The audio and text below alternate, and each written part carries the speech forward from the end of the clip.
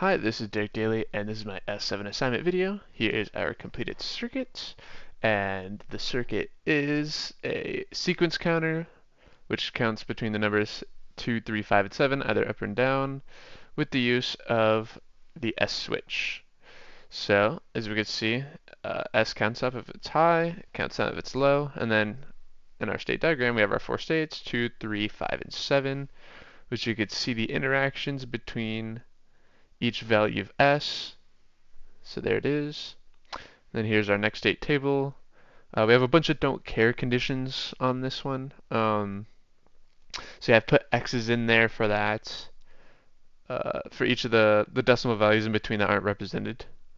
Um, and yeah, I separated it by lows and highs for the switch just to make it easier to read. And as stated previously, we're using JK flip-flops, so there's that transition table, which is pretty handy. And then from there we derive our k-maps, which help us derive our equations. Here they are. So, now that we've seen all this, let's go back to our completed circuit. Now we're going to start by cycling up. Turn on that auto tick and you can see just cycled through. Beautiful. So yeah, now we're counting down. Alright, perfect. Now we're going to go up.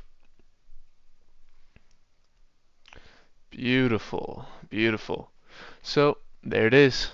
Um, and yeah, it, it, can't easily be reinitialized with reset ports uh, because easily would mean that would just be hooking it up and it would be resetting to zero. But zero isn't a value in this sequence, which is what we want. So we would have to set it up so where maybe it would go start at like uh, the state where two or three, or you know, so on and so forth. So, and yeah, the application for con uh, controlling counter modes is very massive, uh, very important to understand because, you know, like maybe a sequence could represent a function or like a real life object.